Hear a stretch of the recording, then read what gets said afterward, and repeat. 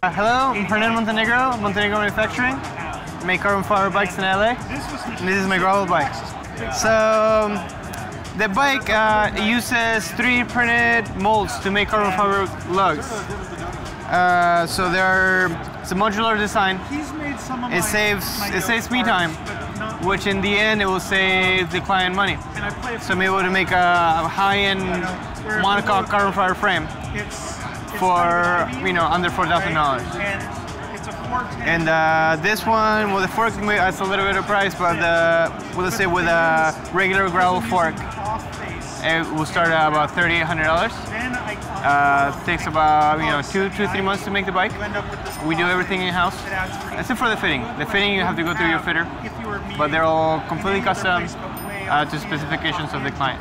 No issues with tire clearances. We can run as big as a 50C tire with some room, to spare. 700C. And then a 650B with a 2.2 tire. Depending on the fork that you're running. On this fork will be no problem. But uh, it may, if you're running like a different fork, like a, you know, like a Columbus or ENVE fork, you might have issues with a with a 2.2 tire.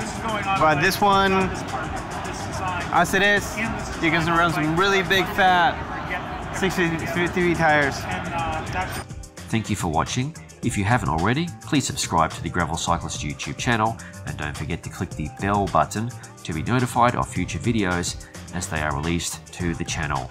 I'll see you in the next video.